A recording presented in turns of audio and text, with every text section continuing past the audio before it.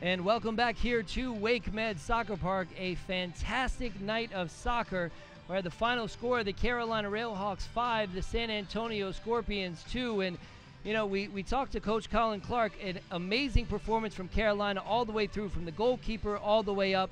You know, they were able to get on the scoreboard early and often tonight, and just just an all-around fantastic performance. And you got to really praise. It started at the back with Julius James and Paul Hamilton winning headers, making sure that the clearances were made, making sure that the the diagonal runs from the Scorpions attackers couldn't couldn't be made and couldn't they couldn't catch that last pass.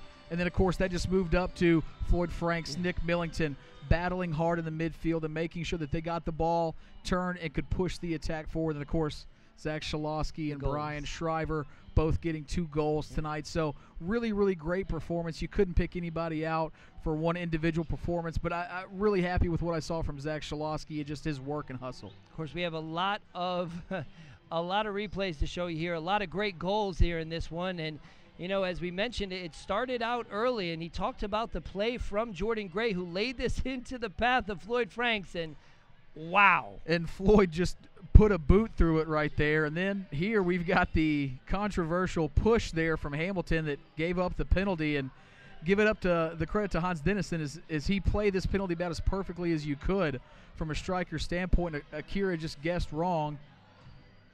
And then here we see great hard work from Brian Shriver, and Zack Schilawski can just poke it in there, and that gave us the lead. And, you know, we didn't really see that evaporate for the rest of the game. And Austin da Luz was fed here, and a great ball there just turned in. And what accuracy from Brian Shriver right there to put it just past the outstretched hand. And then, of course, Shriver again, and he'll cut it in, lay it off, and look at Shipalane just lay it back in for da Luz. And da Luz's footwork right here is immaculate.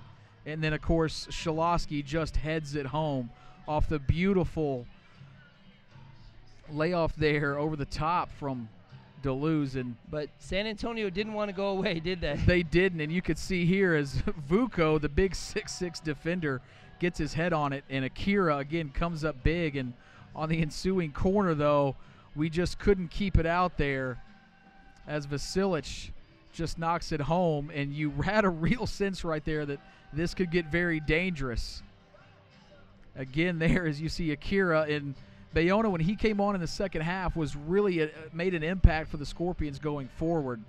And then we can't mention enough Brian Ackley holding up the ball here and then laying it back off, and Shriver just places it past the keeper for his second of the night. And really, everyone going forward, we had so many opportunities. You knew that at any moment one of those was going to connect and find the back of the net, John. And that is the final score tonight. The Carolina RailHawks 5, the San Antonio Scorpions 2. Next, Carolina goes on the road against Atlanta next Saturday. For Jason Schrader, Kelly Clendenning, and John Bouye, we thank you so much for tuning in tonight. And we always leave you saying, How, How about the, the Carolina Carolina RailHawks? RailHawks?